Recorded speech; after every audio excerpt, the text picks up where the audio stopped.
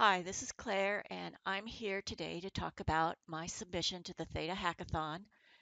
What I've done is taken the Theta Web Wallet source code and I've wrapped it with Electron to create a full desktop application native for both Windows and Mac. And Electron is this really cool uh, SDK or whatever that you can wrap around existing websites or build brand new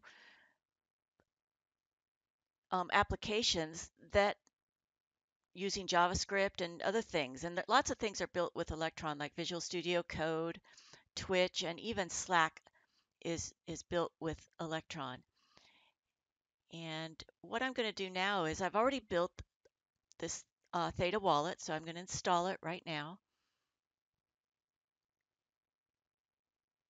And it put this icon here on my desktop. I'm going to run it. And as you can see, it looks very much like the Theta website because it basically is almost the same code. And I did add one new cool feature. I think, at least I think it's cool.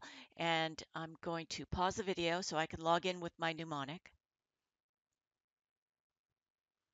All right, I've logged in with my mnemonic. And when you log in with a mnemonic, you have the ability to generate additional addresses for your wallet.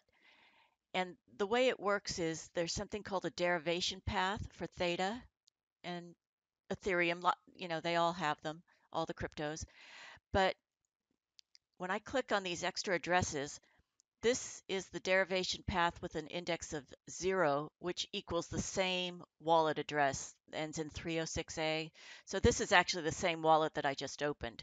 But if I want to open up this wallet, which is the derivation path with an index of 1, I can just click on it and open it up. It's got a balance of 9 T-Fuel I see, so we can switch to that wallet. And then we can do transactions against this new wallet. Okay, so let, let's go back to the first one with my bigger balance here.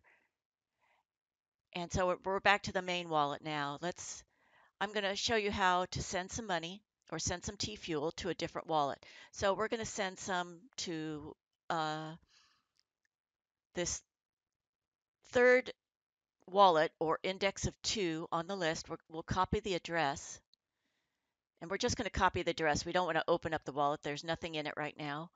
So let's just, we copied the address and we're going to send something from this wallet with the index of 0, 306A, we'll send something to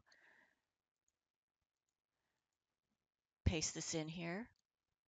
We'll just send one.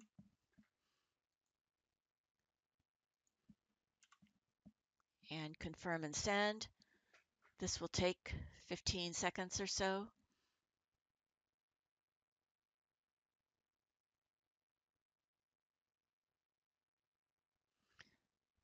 So remember, we just sent to 997, which is the third wallet or the third address in our list that's linked to our mnemonic phrase.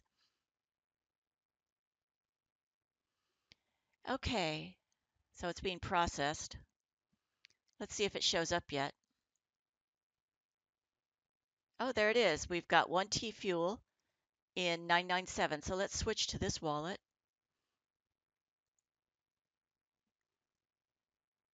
and it shows us with one T-Fuel.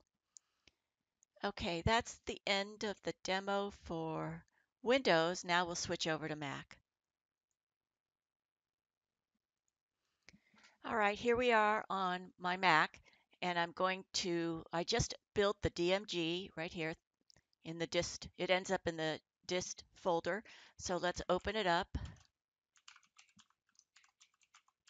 And it should mount the drive and it creates the app, which I'm going to install as soon as it reads it. Okay, I'm going to install it into applications. And I think it did it. So is it down here? Yep, there it is. Okay, so I'm going to double click that. And there we go. It's the same application. The menu is a little bit different on Mac, so you can quit from up here. Same about boxes before. Okay, so let's log in.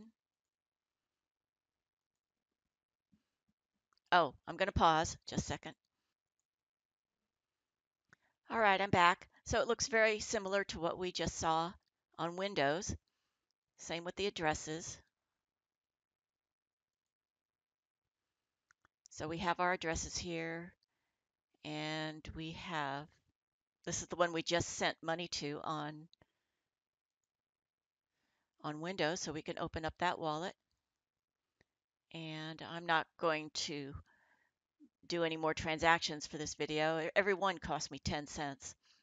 So um, I think that's the end of the demo and thank you for watching.